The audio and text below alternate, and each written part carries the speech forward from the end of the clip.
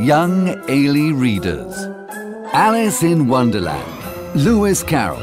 Copyright ELI 2009.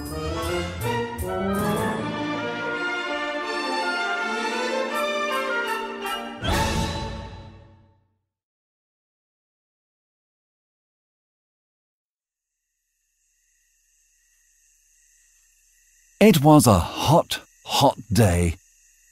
Her boring sister was reading a boring book with no pictures. And Alice didn't know what to do. When suddenly she saw a white rabbit. Her sister didn't notice. Her sister didn't care. Alice got up and followed the rabbit. But rabbits live in holes, under the ground, deep under the ground. It was a very deep hole. Alice fell and fell and fell. Until, finally, she reached the bottom. Where am I? thought Alice. It was a good question. Where was she? What was behind the little door?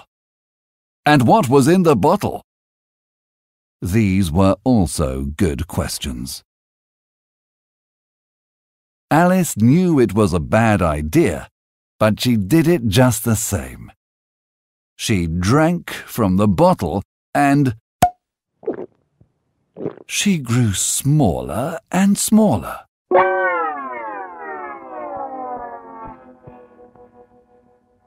Oh no! She didn't have the key. It was on the table. So? So, when she saw a little biscuit, she didn't know what it was, but she ate it anyway. This time, she grew bigger and bigger. Bigger or smaller? Smaller or bigger? What could she do? She didn't know. She started to cry. Big, big tears. What a curious day, thought Alice. Big or small, bigger and smaller. Perhaps I am a different person, and my name isn't Alice. The mouse told his story. It was a very sad story, and so everyone got dry. What a curious day, thought Alice.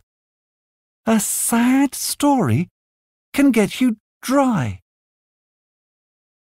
The rabbit came back. Mary Ann, Marianne, run on home and get my fan, he said. Run on home and get my fan. So she did. She went to the rabbit's house.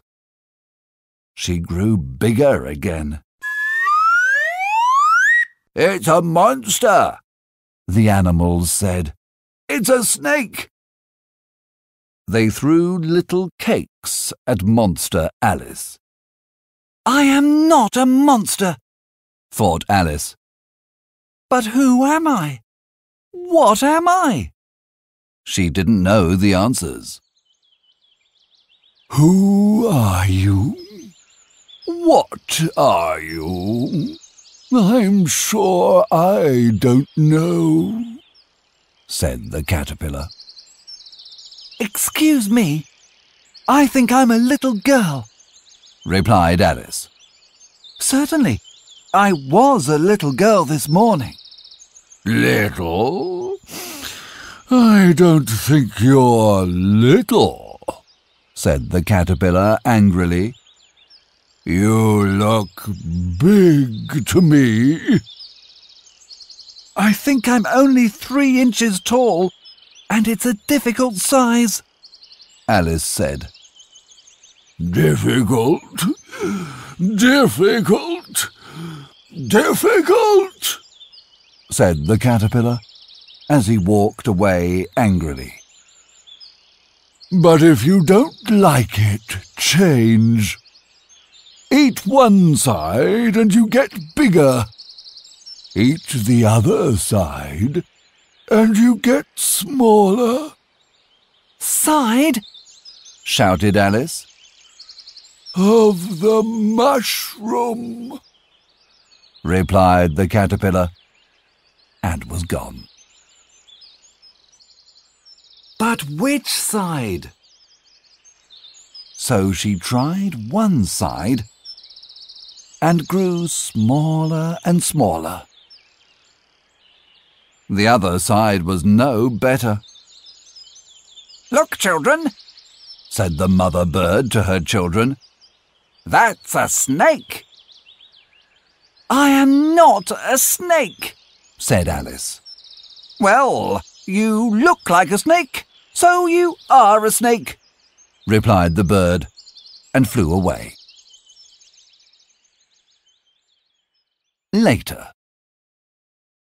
Alice was an intelligent girl. She ate a little from one side of the mushroom and a little from the other side. And so, bigger and smaller, bigger and smaller, after a few minutes, she was the right size again. Down in the forest again, she saw a little house.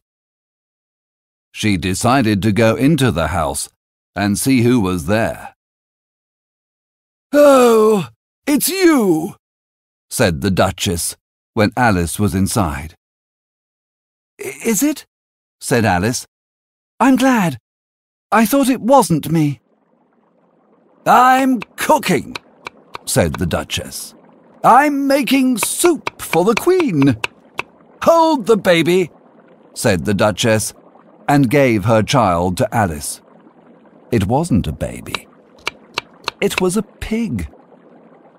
Alice decided to leave the Duchess and her pig baby. She walked through the forest.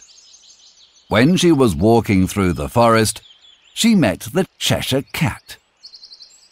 The Cheshire Cat is a big, fat cat who knows where to go and who can disappear.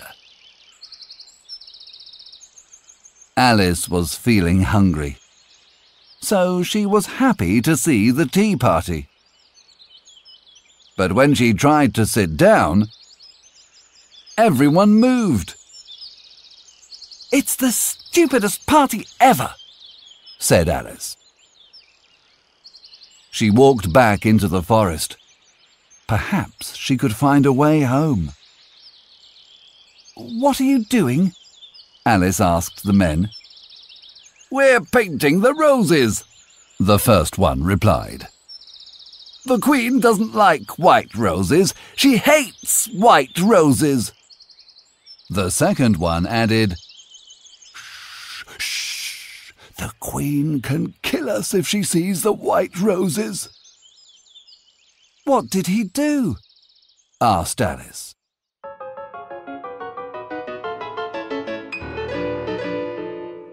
The Jack of Hearts stole some tarts one fine summer day. The Jack of Hearts brought back the tarts and told me what to say.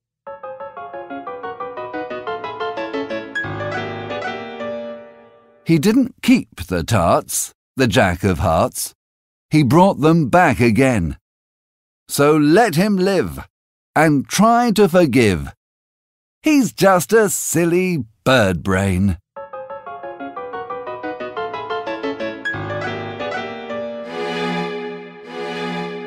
No! Off with his head! The Queen of Hearts didn't have a heart. But Alice had a heart. She didn't want to see the Jack die.